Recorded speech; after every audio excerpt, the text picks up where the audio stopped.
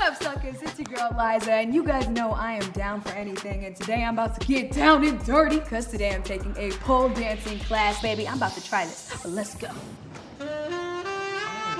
Hi, ladies. My name is Wendy, and I'm going to be your pole instructor today. So let's go and start with just a few stretches. Let that right arm get nice and long. Trying to open up the shoulders here. Lunging into that right leg, getting some length. And then you're gonna start twerking. Just Uh, a little bit. uh, oh, Wendy, uh, Wendy, Wendy, we just met, girl. All right, let's do this. Let's, do this.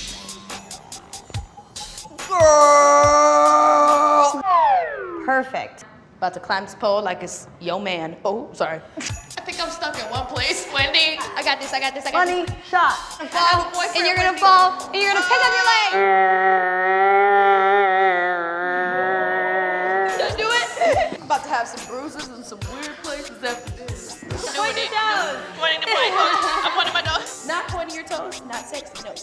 Point your toes. Yeah. Sounds sexy. really good. Girl.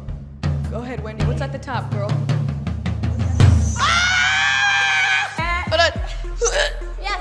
Wendy, what the? split. Oh, ah! no, girl. I'm scared. It's stuck on my thigh fat. It's stuck on my thigh. Yes. All right, y'all. I've had a lot of pull exercise now, and I didn't even hurt myself. It's pretty impressive. Well, bam! Oh, okay. Yep. That's that's where we gotta go.